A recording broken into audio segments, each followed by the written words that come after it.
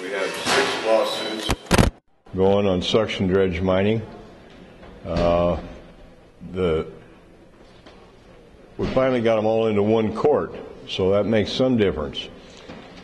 But recently, uh, Dave McCracken has uh, put out publicly that there's another way to dredge which circumvents.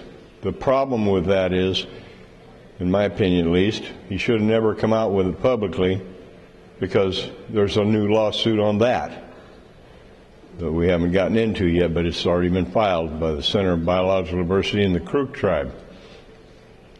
Seems like every time we start making some headway, something happens that we're in another lawsuit, and they're getting very expensive.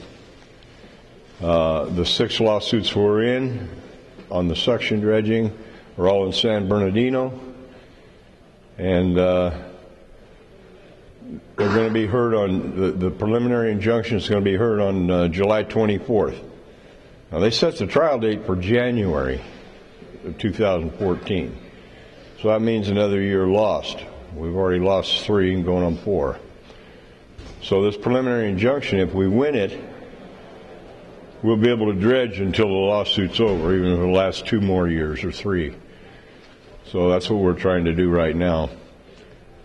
The problem with uh, this six lawsuits is you have to have the administrative record. That's a record of all six of them combined. The state pushed that together. And right now, we're looking at $100,000 for that record, and we have to have it. Here your in California to uh, get things turned around or get an injunction against the present uh, set of laws? Well, I think under the current judge that we have, uh, there's a better chance than we've had in the past. When we were in Oakland, we had no chance whatsoever. Uh, I think we have a judge that's not quite as environmentally uh, insane, and I, I think that uh, I think we may be able to get the preliminary injunction and win it.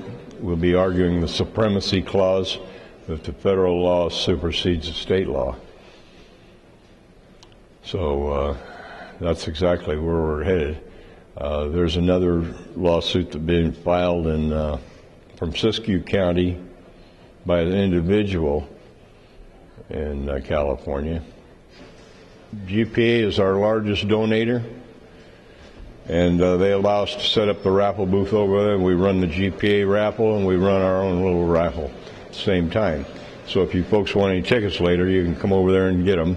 More than ever PLP needs your support. Please help by joining and or making a donation. Thank you.